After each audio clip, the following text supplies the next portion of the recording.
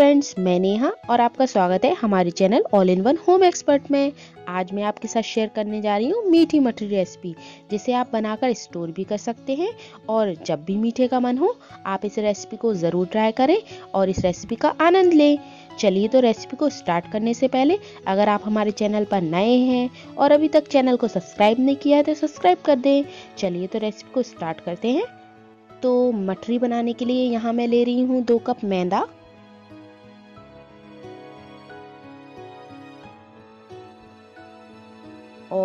अब मैं डालूँगी इसमें वन फोर्थ कप घी घी मोन के लिए। इससे हमारी मटरी अच्छी खस्ता बनकर तैयार होंगी।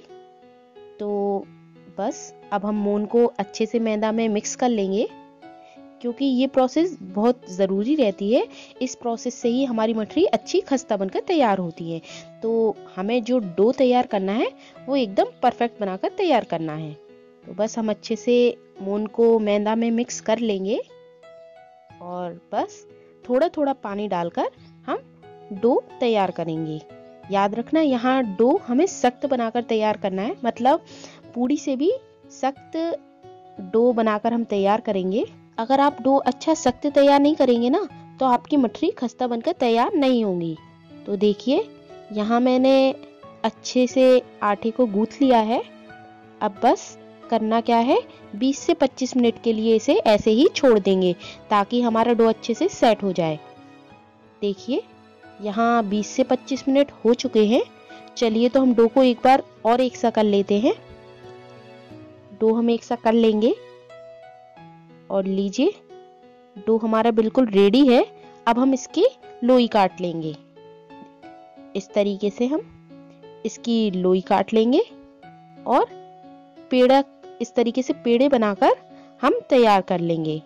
और पेड़े बनाने के बाद हम इसे हल्का सा बेल लेंगे और मठरी का शेप दे लेंगे। देखिए, इस तरीके से हम इस प्रोसेस को करेंगे। देखिए, ये मैंने एक मठरी बनाकर तैयार कर ली है। देखिए, इस तरह मठरी बनाने के बाद हम इसे चाकू की हेल्प से इस तरीके से ये कट लगा लेंगे, जिससे हमारी मठरी सेकने के समय फूले ना। इसी तरीके से हम सारी मठरी बनाकर तैयार कर लेंगे। देखिए तो यहाँ मैंने सारी मठरी बनाकर तैयार कर ली है और यहाँ मैंने कढ़ाई को गर्म होने रख दिया है और तेल भी हमारा अच्छा गर्म हो चुका है। तो चलिए हम मठरी को उनमें डाल देते हैं। यहाँ याद रखने वाली बात यह है कि हमें मठरी को हाई फ्लेम पर नहीं फ्राई करना है लो टू मीडियम फ्लेम पर फ्राई करना है। तो जब मैंने मटरी डाली थी ना तो ये देखिए, देखा था ना आपने धीरे धीरे कर कर ऊपर आई।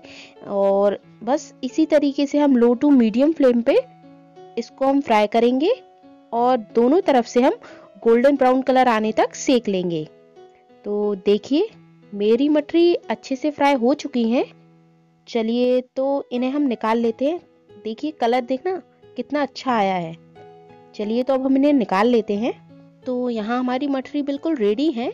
चलिए तो इन्हें अब हम साइड में रख देते हैं और अब हम इन्हें पागने के लिए चाशनी बनाकर तैयार करते हैं।